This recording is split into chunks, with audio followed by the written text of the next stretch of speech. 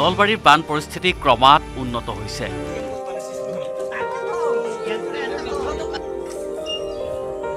লাহে লাহে শুকাবলৈ লৈছে বাঢ়নি পানী। জিলাখনৰ পশ্চিম নলবাৰীৰ বৰবিলা পূৰ্ণি খেলুৱাত এতিয়াও স্বাভাৱিক হোৱা নাই বান পৰিস্থিতি। দুই এঠাইত পানী কমিছে যদিও পূৰ্বৰ দৰে নাই বাঢ়নি পানী। ইফালে বানৰ প্ৰকোপ কিছু হ্ৰাস পালেও আঁতৰা নাই ৰাইজৰ দুদৰ্শা বৰবিলাত ঘৰৰ ভিতৰত এতিয়াও পানী। খোৱা পানীৰ বাবে হাহাকাৰ লাগিছে বানপীড়িতৰ সমস্যা কেনেকে মানে আমি বহুত পানী তাতে ভাহি আছো খাবা ল'বা কষ্ট। পানী দুনি বহুত বিছনা এখন মানুহ বহুত। বৰ কষ্ট কৰি আছো।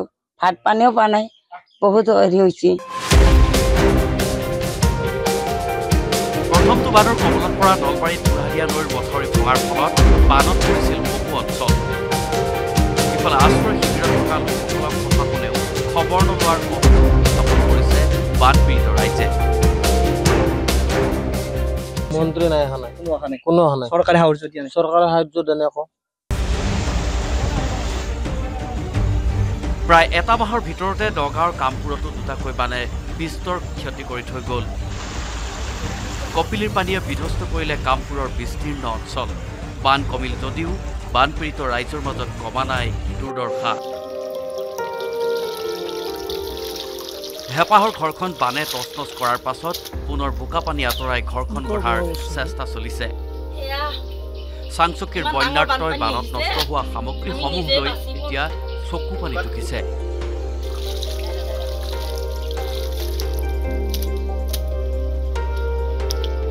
ছোৱালী পৰীক্ষা হিন্দী পৰীক্ষা ট্ৰেইনত পঢ়ি আছে।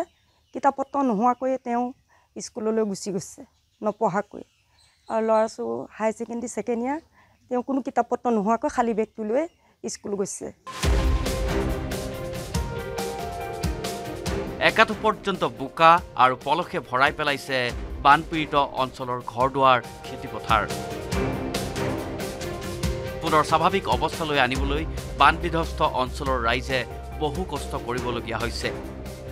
ইফালে বহুতৰে বাসগৃহসমূহ সম্পূৰ্ণৰূপে ধ্বংস হৈ যোৱাত মূৰে কপালে হাত দিবলগীয়া হৈছে দৰিদ্ৰ লোকসকলে। এতিয়ালৈকে কোনো চৰকাৰ মন্ত্ৰী এম এল এ হওক বা কোনো মানুহ আহি আমি কেনেকৈ আছোঁ কি কৰিছোঁ কোনো এজন মানুহে আমাক খবৰ লোৱাহি নাই। যদি কেতিয়াবা আমি দিনটোত এসাঁজ খাইছোঁ কেতিয়াবা দিনটো আমি সেসাঁজো পোৱা নাই। চৰকাৰে যি বা কেইটামান চাউল দিছে এদিনে ৰিলিফ দিলে আমাক সেইকেইটা চাউলৰ আমি ভাত খাবলৈও নোৱাৰোঁ। তথাপিতো আমি তাকে খাই বৈ হ'লেও জীয়াই আছোঁ কাৰণ আমাৰ উপায় নাই আমি হাজিৰা কৰি খোৱা মানুহ। গতিকে এতিয়া কি কৰিম মানে আমি নিজে ভাবি নোপোৱা হৈছোঁ। মঙলদৈতো গৰাখহনীয়াত যা গ'ল এটা পৰিয়ালৰ বাসগৃহ। দৰং জিলাৰ বান পৰিস্থিতি ভাললৈ আহিছিল যদিও মঙলদৈৰ গেৰিবাৰী দোকানৰ পৰা নামি অহা বেগানদীৰ পানীয়ে তাণ্ডৱৰ সৃষ্টি কৰিছে। গেৰিমাৰী গাঁৱলৈ কঢ়িয়াই আনিছে ভাবুকি। যিকোনো মুহূৰ্তত গাঁওখনৰ নৈৰ বুকুত জাহ যোৱাৰ আশংকা কৰিছে গাঁওবাসীয়ে। কথা আমি ক'বই নোৱাৰোঁ কেতিয়াকৈ এক ঘণ্টাৰ সময়ত আপোনাৰ বহুত ভাঙি গ'ল। সেইদিনা পৰহি ৰাতিও এওঁলোকৰ ঘৰৰ বস্তু বাহিনী টানি তত পোৱা নাই কিছুতো নদীত উটি গ'ল। আৰু অলপ আহি যায় আমাৰ এইবিলাক ঘৰ নাথাকিবই।